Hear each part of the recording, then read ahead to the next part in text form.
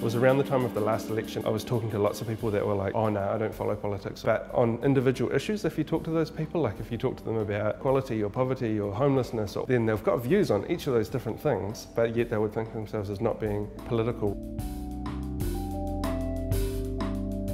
I sort of felt like political cartoons are really good for getting across the rational, factual message of things, but at the same time the emotional, making a really daunting topic or a really heavy topic kind of approachable. It's a little less scary and a little less intimidating to read. If you can take something that's like, you know, there's big topics that are sort of on your mind that people hard to define or hard to talk about, to make those sort of tangible in a way that people can relate to and people can identify with, I think that's really powerful. That's what I'm trying to do.